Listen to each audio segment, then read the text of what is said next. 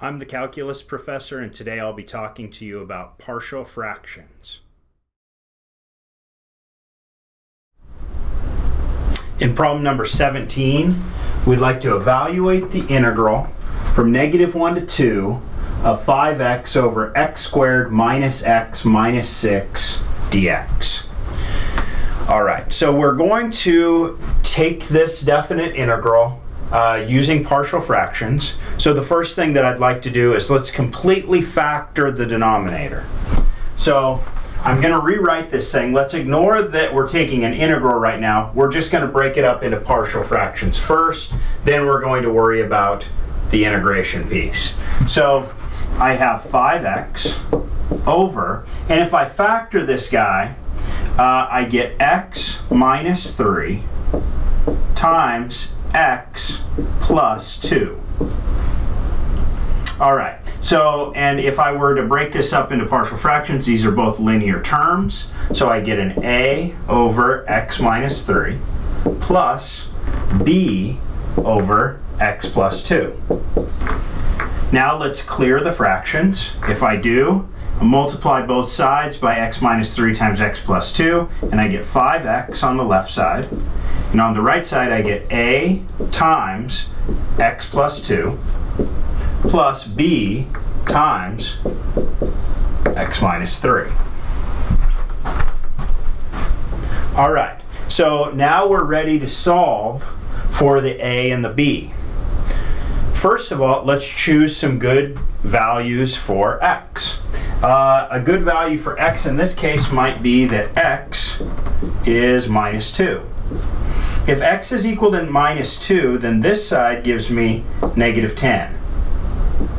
Over here, if x is minus 2, this is 0. And if x is minus 2, I get minus 2 minus 3, which is minus 5b. So b is 2. Now we could also choose another value for x. Let's let x be equal to 3. If x is 3, I get 15 on this side. If x is 3, I get 5a. And if x is 3, this is 0. So I get 15 equals 5a, where a is equal to 3. Okay, so I've solved for my a and I've solved for my b. Now let's rewrite my integral. So my integral now can be written as the integral from minus 1 to 2 of um, a over x minus 3. Well, a is 3. So I've got 3 over x minus 3.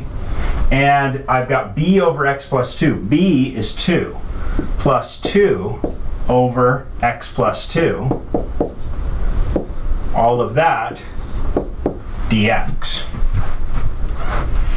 All right. Uh, are these natural logs? The derivative of x minus 3 is 1. The derivative of x plus 2 is 1. So if we just pull the constant out to the side, it's a natural log, so I can rewrite this. Uh, take the antiderivative, I get 3 times ln of absolute x minus 3 plus 2 times ln of absolute x plus 2 all of that evaluated from negative 1 to 2. All right, so let's plug in my 2 and my negative 1. First, let's plug in 2. I get 3 times ln of 2 minus 3. 2 minus 3 is minus 1. The absolute value of minus 1 is 1. So this is just ln of 1. Okay, plug in 2 here, and I get 2 ln of 4.